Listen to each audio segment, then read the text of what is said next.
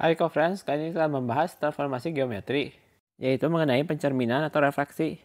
Di sini, bila ada suatu titik awal, misalkan saja titik T, memiliki koordinat x, y, bila kita cerminkan terhadap garis x sama dengan h, akan memiliki bayangan T aksen dengan koordinat bayangan x aksen, y aksen, yaitu sama dengan 2h min x, y.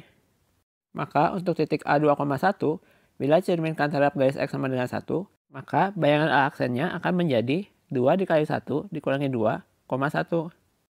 2 dikali 1 hasilnya adalah 2, maka jika dikurangi 2 hasilnya adalah 0.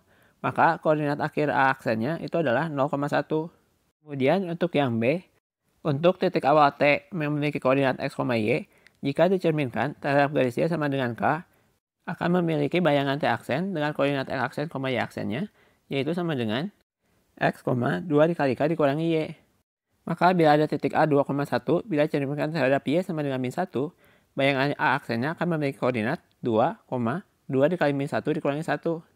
Maka bayangan A aksennya sama dengan 2, min 2 dikurangi 1 atau sama dengan 2, min 3. Maka untuk poin yang A bila digambar, terdapat titik A dengan koordinat 2,1 jika cerminkan terhadap garis X sama dengan 1, itu hasilnya adalah A aksen, yaitu memiliki koordinat 0,1.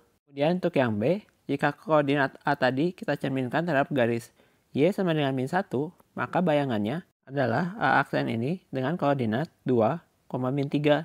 Demikian jawabannya, sampai jumpa pada soal berikutnya.